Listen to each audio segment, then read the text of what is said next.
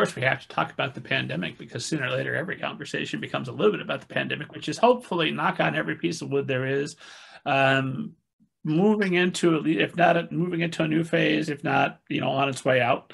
Uh, hopefully, this won't age terribly and there'll be a, a new variant spiking. Um, but this has dramatically changed everything. It's not not just that it's changed publishing. Uh, that combined with shipping shortages, boats of books sinking to the bottom of the ocean, all kinds of, of crazy stuff going on. Where do you see publishing at right now? If there's a glut of submissions, is this a good time for authors to be submitting? And then how do you think this will change publishing going forward, knowing that you can't tell us the future, but just your best guess would be fine? I'm going to try and keep the answer short, but I wrote about this actually. Publishers Weekly, they have um, an almanac of book publishing the, on the industry. They keep their finger on the pulse every year. They just kind of do a state of the industry kind of book. And they asked me to write the chapter on literary agents. And naturally, they asked me to talk about the pandemic. And I talked about this in one other interview. I think the magazine is called Lit Mag. They're a relatively new magazine. They're on like their fourth issue it interviewed me and, and Morgan Entrekin, who he uh, is the publisher of uh, Grove Atlantic. So they asked the same thing.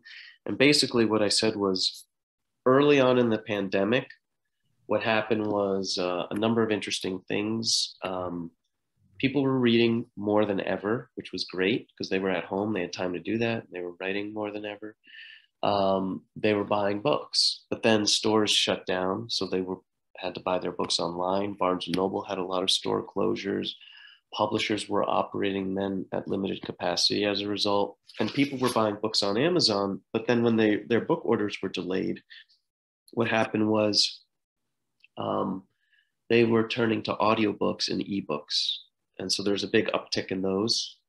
Um, there was a push in the industry. I think like James Patterson and some other authors were behind it in saying books are essential, which yeah, they are. I love books, but in a pandemic where people are dying, um, medicine, food, water, that's essential. You know, the book, you know, might not save a life in the same way.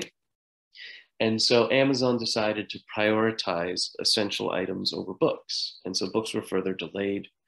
Uh, to that point, up until that point, people were reading a lot of uh, paperback classics. Like suddenly, oh, I have time to read these massive tomes like War and Peace or Tales of Genji, um, and um, so that that kind of changed. There was a shift there, and then what also happened at that time was early on in the pandemic, there was an article in Publishers Weekly.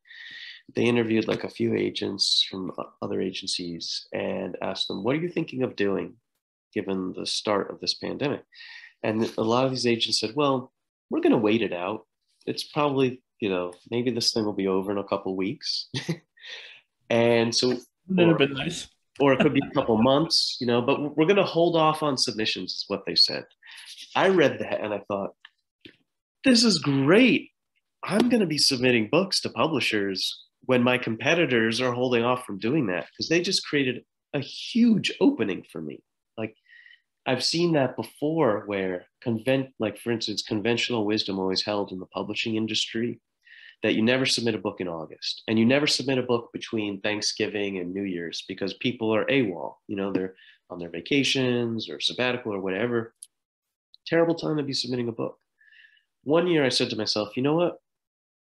I'm going to try it because in my mind I was thinking, well, if no one's submitting a book, these editors, their desks are clear and they're just waiting for a submission. And it was as though I had I submitted a book like you know in those times, and uh, I had never been busier. And I said to one of my colleagues who I knew was doing the same thing. I, he has a lot more experience than me. He was a publisher at Viking at one point. I said to him, "Have you been really busy too around this time?" He said, "Yeah, I've been submitting books." And I, he's like, "I just did a few deals." I was like, "Yeah, me too." So that's what happened early in the pandemic. I did, uh, I think it was like three six figure deals for clients right within the first couple of weeks of the pandemic. And because I knew what was going through the minds of publishers, they look at their, they, they, they're not looking at books and seeing what's going on today all the time. They're thinking 12 to 18 months in the future because that is the timeline it takes from the date of a signed contract to publish a book or the date of delivery sometimes. So they're looking a year, sometimes two years ahead. And they were already thinking of, well, eventually the pandemic will be behind us. It will be a brighter day. The people who are short sighted kind of froze up with fear and stopped doing what they were doing. What, you, what occurred later in the pandemic was it started to catch up to publishers. So they were feeling the hurt of physical retail being closed and all, and all this stuff, all these delays, you know, publications weren't coming out in, time and stuff like that. So um, they started changing the way in which they paid authors. Rather than maybe paying half on signing of a contract, half on delivery of the manuscript, they then wanted to pay maybe in fourths, like so signing, delivery, hardcover publication, paperback publication. And in windowing those payments, what the publishers were doing for themselves was they were um, helping their own cash flow. And to us, we were like, you know, the client's going to get the money eventually. If it's going to help the publisher, sure, why not? It's not like they're paying authors less. Um, that was something we definitely noticed. We definitely saw. Uh, but no, publishers were still buying books. It was just editors were harder to reach because they weren't at their desks. Um, you know, I think some people were able to work better in the pandemic. Others, you know, it's a was a disaster for them to be working from home. You know, so I hope that those people realized that's about themselves and that in turn publishing companies realized that about their employees. Like authors weren't doing in-person events, so everything was online and everyone who had a book published in 2020 you know very few publishers were forgiving of that so if you were a debut author in 2020 you know publishers should have really been grading on a curve but not everyone did. You know unfortunately it was held against some people even though it shouldn't have been.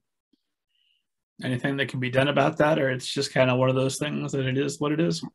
I suppose those authors have to think in the spirit of reinvention you know how they can kind of reinvent themselves and their books in a new and different way and kind of start over start anew. I don't know whether that's like a pen name or something that we're working with other people or what but you know at, you know it, it wasn't it's not easy to convince the publishers um, to say hey like this book could have sold a lot more if it just wasn't 2020 so uh, yeah, those are some of the things that that were going on. Now there's still delays.